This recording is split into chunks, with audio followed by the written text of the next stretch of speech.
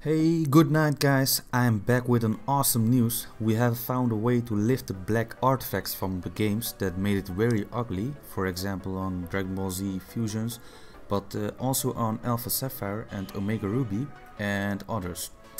But not only, only did they get fixed, we also have an automatic black outline fix for those games. Remember when we uh, have a black line on the outside of the characters? Well, we don't have any anymore. We don't need to use outline cheats for it anymore because this build will fix it automatically. So tell me, how awesome is that?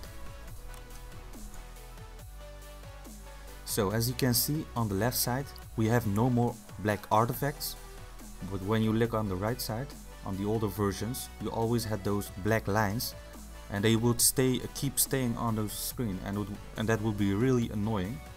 So we continue with another game this is uh, Dragon Ball Z Fusions, if you remember, remember. Well, this game got really affected by those black artifacts. Uh, and those, uh, those artifacts wouldn't go away and they would stay for long periods. And it really uh, ruined the uh, gameplay experience, to be honest. But we have got rid of them.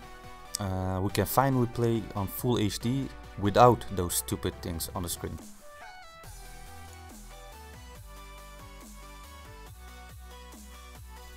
Moving on to the next game, uh, we have Pokemon Moon, uh, the game we all know and play. We didn't really get affected uh, here by the artifacts, but what's cool is that we don't need cheats anymore for the black outlines. Perhaps some of you have already noticed, but my YouTube banner and profile picture have changed. That is thanks to my friend 411 Talha. Uh, check out his channel, he has some cool videos about benchmarks. As always, thumbs up if you liked it and don't forget to subscribe.